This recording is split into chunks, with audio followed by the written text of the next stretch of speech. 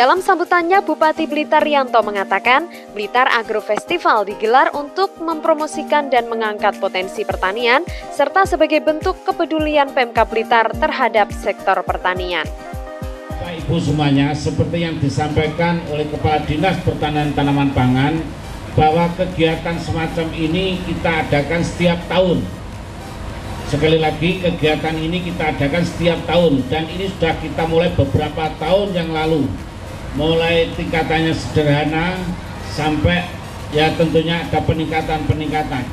Ini menunjukkan kekompakan kita, kegotong royongan kita, terutama teman-teman Gapotan seluruh Kabupaten Blitar. Tepuk tangan untuk Gapotan kita. Saya terima kasih kepada seluruh panitia yang telah bekerja keras untuk menyiapkan segala sesuatunya, di mana tentunya seperti yang sampaikan tadi bahwa pawai yang diikuti oleh Gapotan yang di, dinama Pawai dinamakan Pawai Agropolitan Blitar. Ini adalah untuk mensosialisasikan, untuk memamerkan, untuk menunjukkan pada masyarakat Blitar bahwa petani-petani kita sudah luar biasa majunya. Dari pemakaian alat-alat tradisional sekarang sudah ke arah yang lebih tinggi tingkatannya dengan pemakaian-pemakaian alat pertanian yang lebih canggih kemudian tentunya olahan hasil pertanian yang dulu tidak produktif, dulu tidak uh, apa nilai jualnya kurang, sekarang luar biasa. Termasuk contoh di Blitar Selatan ada tanaman melon dari Kecamatan Wates yang tentunya juga diikuti oleh kecamatan-kecamatan yang lain. Kemudian tanaman pajele, padi jagung kedelai yang satu tahun masyarakat Blitar Selatan sudah bisa panen tiga kali dalam waktu satu tahun kemudian juga ada tanaman lombok yang dulu Blitar Selatan itu tidak bisa ditanami lombok namun sekarang lombok dari Blitar Selatan sudah luar biasa. Oleh karena itu tentunya acara-acara semacam ini perlu disampaikan pada masyarakat bahwa Blitar pertaniannya sudah lebih baik dibanding yang kemarin-kemarin. Oleh karena itu sekali lagi saya menyampaikan terima kasih kepada seluruh peserta dan harapan kami ini nanti diikuti dengan baik, dengan serius. Yang tadi sudah disampaikan ada penilaian, ada penilaian. Justru saya bangga sekali kalau dulu tidak ada ya celengan, ya tidak ada uh, bejang ganong, tapi sekarang sudah lebih lengkap lagi ada tarian-tarian. Kalau dulu hanya ya pawai-pawai sederhana, tapi sekarang sudah ada peningkatan. Oleh karena ini uh, tentunya harapan kami ini bisa dikemas untuk wisata juga ya kegiatan Gapotan yang baik ini bisa mendatangkan para wisatawan. Insya Allah kalau tiap tahun seperti ini atau apalagi ada peningkatan, saya yakin wisatawan yang masuk ke Blitar akan semakin banyak. Dan tentunya nanti malam akan dilanjutkan dengan pameran produk-produk pertanian di alun-alun Kanigoro.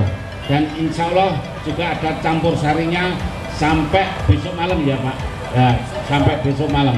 Dan besok juga ada kegiatan yaitu sarasean para petani dan sampai nanti ditutup tanggal 5 malam oleh karena itu saya minta kepada seluruh panitia terus menerus mensiarkan pada masyarakat agar tentunya apa yang dilakukan oleh Gapotan akan diketahui oleh masyarakat dengan baik.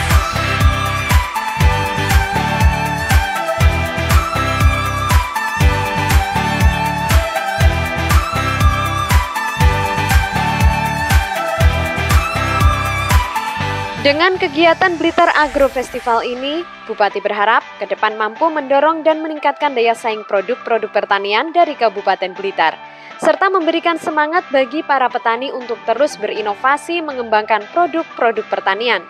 Diharapkan produk pertanian tak hanya berkembang dari segi kuantitas, namun juga mengalami peningkatan kualitas.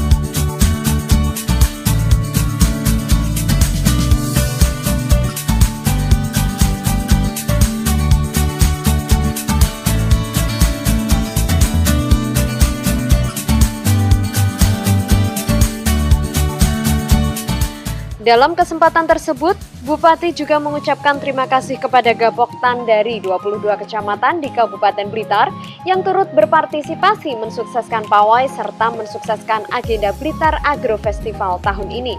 Melalui event ini pula, Bupati mengajak seluruh masyarakat Kabupaten Blitar untuk melihat dan hadir guna menambah ilmu pengetahuan tentang dunia pertanian.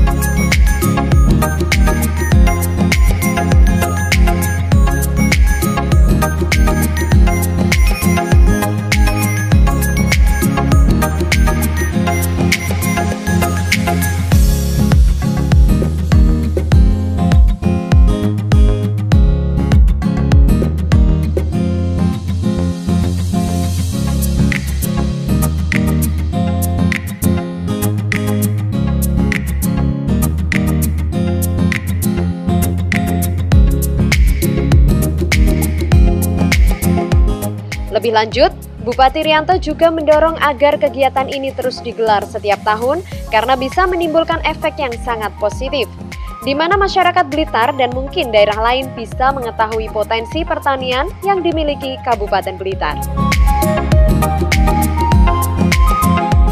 Nah, jadi ini kegiatan yang kita adakan setiap tahun.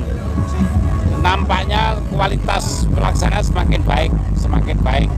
Jadi uh, kita harapkan festival agro uh, uh, Festival Agro ini uh, bisa me, apa ya bisa untuk sebagai jembatan komunikasi dengan masyarakat. Bahwa petani-petani kita Blitar ini sudah lebih maju. Masyarakat harus tahu itu. Uh, alih teknologi yang dulu tradisional sekarang sudah modern ini harus tahu masyarakat ini dibuktikan dari pawai ini tadi termasuk hasil pertanian pun uh, kualitasnya juga semakin baik ya. Tadi kita lihat dari Blitar Selatan ada lombok, ada apa terong, melon. ada melon, ya, ada apa pajele, ya, padi, jagung dan kedelai. Ini pertumbuhan yang sangat luar biasa. Ya, jadi kegiatan Blitar Agro Festival ini kita laksanakan sekaligus untuk memelihara, mempertahankan, melestarikan gotong royong dari kita semua. Saya minta kepada masyarakat petani khususnya di Blitar ini terus bersemangat bekerja bau-membau gotong royong untuk bagaimana kita ini semua semakin sejahtera dan Blitar semakin maju dan berdaya saing. Ini harapan kita.